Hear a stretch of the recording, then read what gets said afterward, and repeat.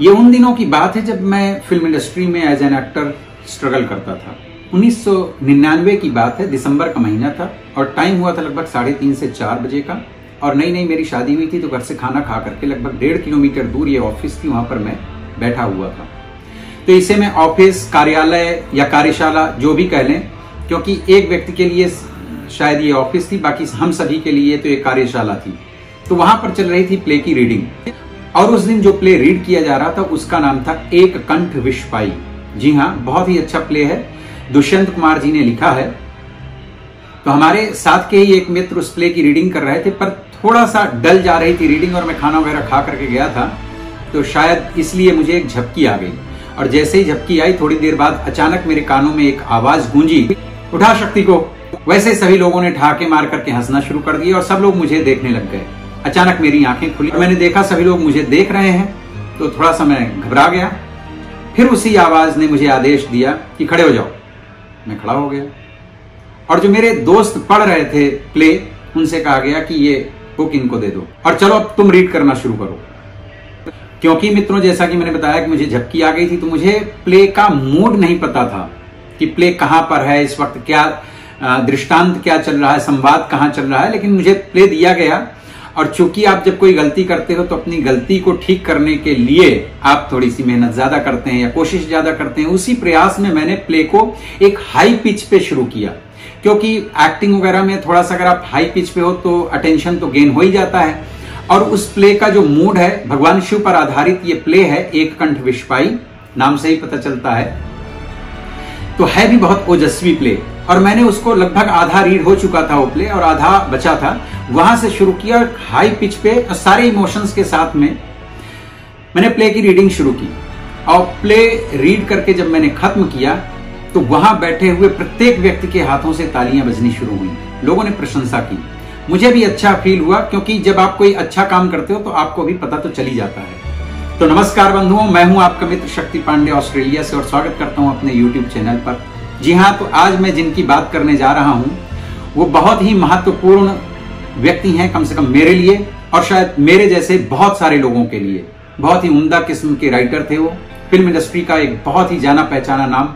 एक समय पर उन्होंने बहुत बड़े बड़े एक्टर्स के लिए अपनी कलम से पन्ने स्याह किए थे, अर्थात राइटिंग की थी। तो मित्रों, आज मैं भारी मन से और अपने बुझे मन से एक ऐसे व्यक्ति के बारे में चर्चा करने जा रहा हूँ, जिनकी कुछ यादें मेरे जीवन में हैं जो कभी मिट नहीं सकती हैं, जिनको मैं कभी भूल नहीं सकता हूँ।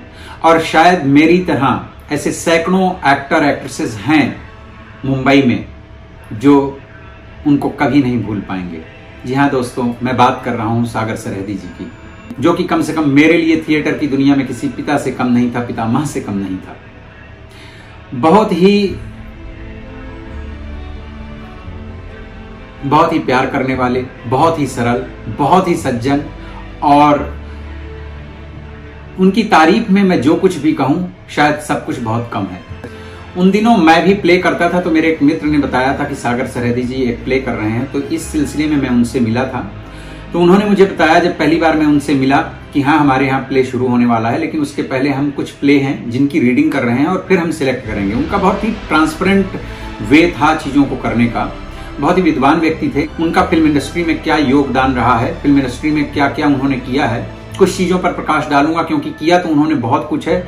उन सभी बातों को आज इस वीडियो में मेंशन कर पाना बड़ा मुश्किल हो जाएगा, लेकिन कुछ चीज़ों को ऑफकोर्स मैं यहाँ पर मेंशन करना चाहूँगा। तो उन्होंने कहा कि अभी हमारे यहाँ पर प्ले सिलेक्ट नहीं हुआ है, किस प्ले को हम परफॉर्म करेंगे। तो अभी हमारे यहाँ रीडिंग चल रही है तो आया करो और रीडिंग में भाग लो। तो मैंने जाना शुरू कर दिया रेगुलर जाना शुरू कर दिया। मेरी तरह वहाँ करीबन उस टाइम पे मेरा अंदाज है कि 60 से 80 एक्टर एक्ट्रेसेस वहाँ आते थे। तो वहाँ पर प्ले की रीडिंग्स होती थी। कोई सजेस्ट करता था, या सागर सरहदी जी के खुद के भी बहुत सारे प्ले लिखे हुए थे तो उनकी भी होती थी। और अगर कहीं कोई किसी दूसरे का लिखा हुआ प्ले भी कोई सजेस्ट करता था और सबकी सहमति होती थी तो उस प्ले की भी रीडिंग होती थी। उसके बाद में उस पर चर्चा होती थी कि हाँ इस प्ले को हमें परफॉर्म करना चाहिए कि नहीं करना चाहिए। तो उसी सिलसिले में उस दिन एक कंठ विश्वाई दुष्यंत कुमार जी का प्ले रीड किया जा रहा था। और ये जो आवाज़ आई थी, उन्हीं की आवाज़ थी। सागर सरहदी जी की आवाज़। उनके लिए सब समान थे। और एक ऐसा पितामह जैसा स्वरूप हम लोग सब स्ट्रगल कर रहे थे। हम लोगों के लिए उस वक्त ये प्लेटफॉर्म बहुत ही इंपॉर्टेंट था। मैंने जो सीखा, वो तो अपनी जगह था ही। प्लस इंडस्ट्री को समझने का भी एक मौका मिला। क्योंकि सागर सरहदी जी का जो फिल्मी सफ़र था फ़िल्म इंडस्ट्री का जो सफ़र था, वो बहुत ही लंबा था। तो बहुत लंबा अनुभव था और बहुत अच्छे अच्छे लोगों के साथ का अनुभव था। और बड़े नामचीन लोगों के साथ उन्होंने काम किया था। तो हम लोगों ने पहली बार फ़िल्म इंडस्ट्री को इतने अच्छे चश्मे से देखा। उन्होंने फ़िल्म इंडस्ट्री के बारे में जो चीज़ें हमें बताई, उसने बहुत सहयोग किया इस इंडस्ट्री को समझने और जानने के लिए। एक्टिंग के अलावा भी उस इंडस्ट्री का इतिहास।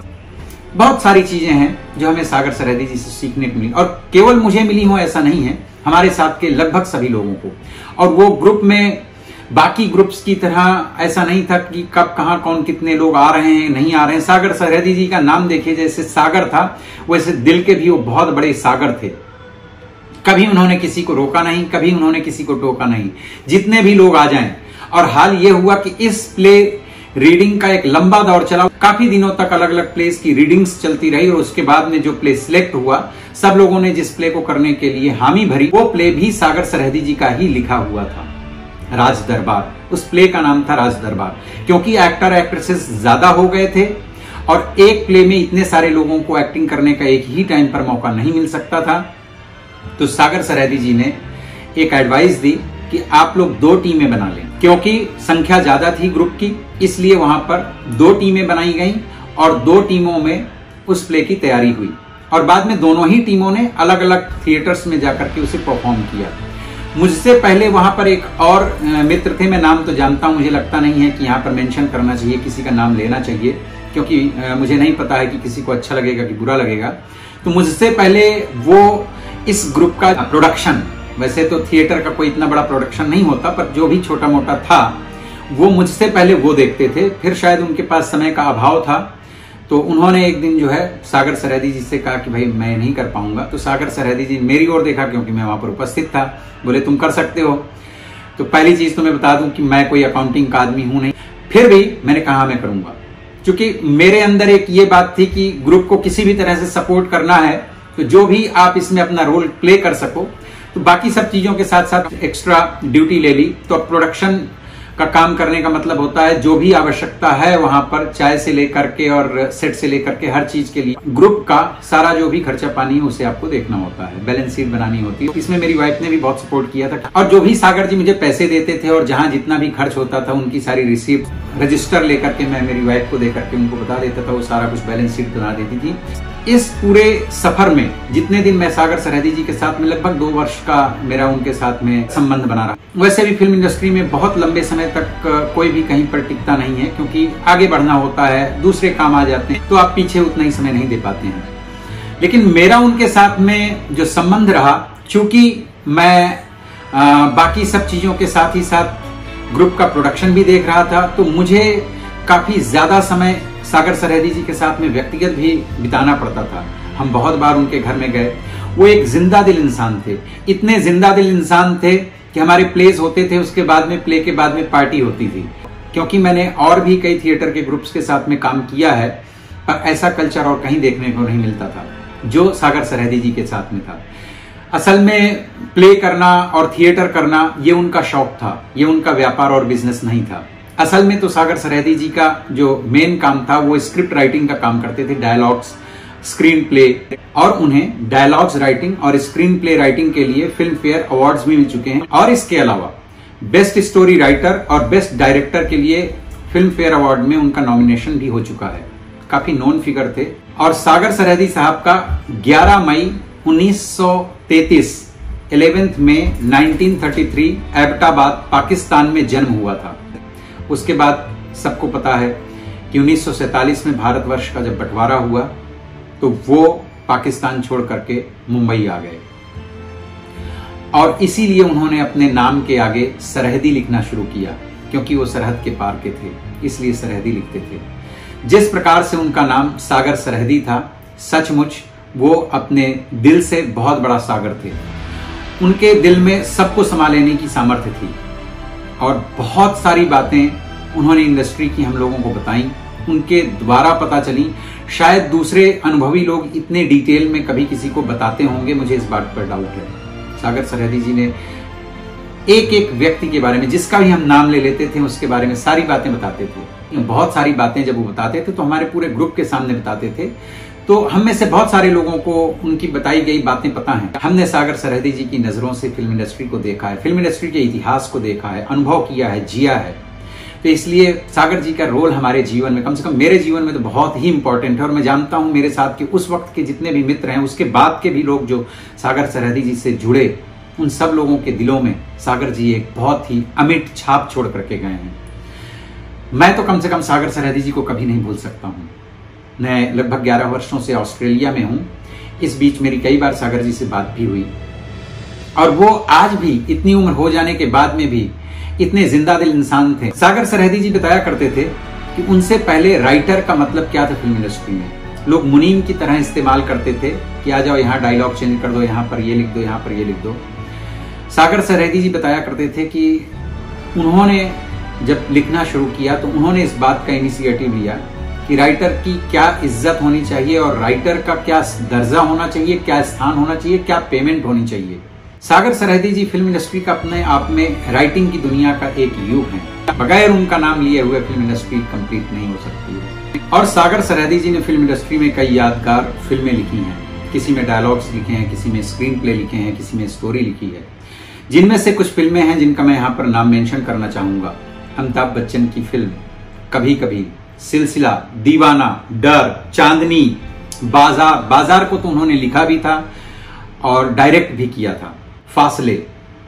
कुछ फ़िल्मों को उन्होंने ट्रांसलेट भी किया, क्योंकि उन्होंने जो राइटिंग की शुरुआत की थी, वो उर्दू प्ले से राइटिंग की शुरुआत की थी, फिर उर्दू में शॉर्ट स्टोरीज लिखना शुरू किया था। एक लंबा सफ़र था। हम सागर सरहदी जी के घर जाया करते थे तो उनका घर घर कम पुस्तकालय ज़्यादा लगता था लाइब्रेरी ज़्यादा लगता था।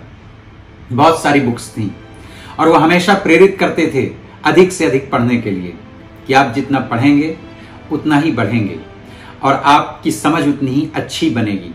पुस्तकों से बहुत प्यार करते थे। वैसे, सागर सरहदी जी और हमारे बीच में उम्र का जो फासला था, वो बहुत लंबा था। बहुत बड़ा गैप था हमारे और उनके बीच उम्र का। लेकिन कभी उन्होंने किसी को ये एहसास नहीं होने दिया। वो सबको दोस्त कहते थे। इसलिए हम जैसे जितने भी लोग सागर सरहदी जी से जुड़े हैं उम्र का कितना भी फासला रहा हो, सभी लोग सागर जी को हमेशा दोस्त कहते थे।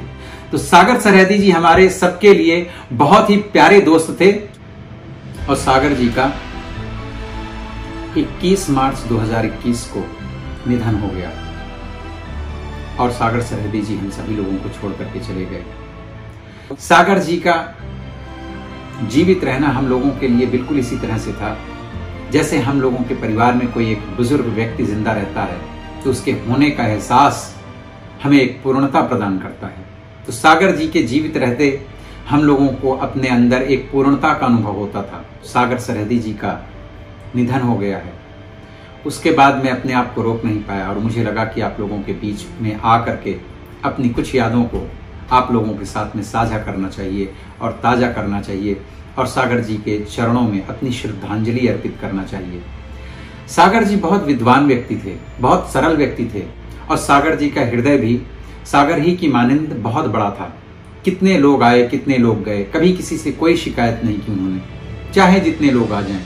हम जैसे लोग, जिनका फ़िल्म इंडस्ट्री में कोई नहीं था और आते थे और सागर जी से मिलते थे तो ऐसा लगता था जैसे हाँ यहाँ पर हमें जानने वाला कोई है। यहाँ पर हमें सहारा देने वाला कोई है।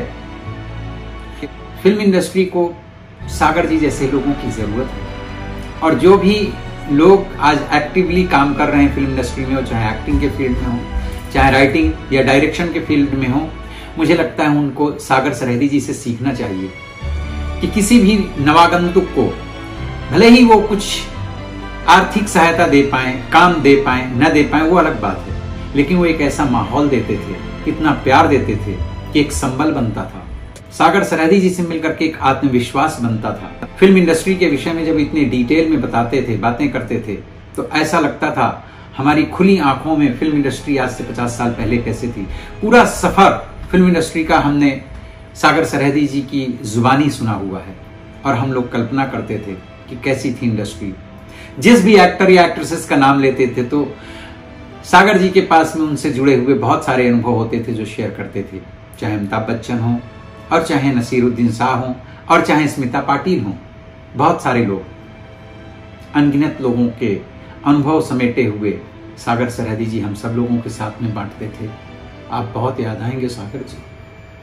सचमुच, आप जैसे लोगों की फ़िल्म इंडस्ट्री को अभी भी बहुत ज़रूरत है। किसी भी इंडस्ट्री को आप एक रोबोटिक अंदाज में नहीं चला सकते। कम से कम फ़िल्म इंडस्ट्री, जहाँ पे इमोशंस ही बनाए जाते हैं, इमोशंस ही बेचे जाते हैं, और इमोशंस ही देखने के लिए लोग जुड़ते हैं। वहाँ सागर जी जैसा बड़ा दिल, सागर जी जैसी सोच और सागर जी जैसे विशाल हृदय के लोगों की ज़रूरत हमेशा रहेगी। सागर जी, आपको फ़िल्म इंडस्ट्री कभी नहीं भूल पाएगी। और जिस दिन आप जैसे लोगों को इस इंडस्ट्री के लोग भुला देंगे तो मुझे लगता है लोगों का डायरेक्शन ही भटक जाएगा। सागर सरहदी जी जितने अच्छे डायरेक्टर थे, उससे भी बेहतरीन राइटर थे और उससे भी बेहतर प्ले राइटर थे और उससे भी बेहतर एक अच्छे इंसान थे। सागर जी कहा करते थे कि एक बेहतर इंसान के अंदर ही एक बेहतर राइटर जन्म ले सकता है। इन संदेशों पर जीने के प्रयत्न के साथ ही।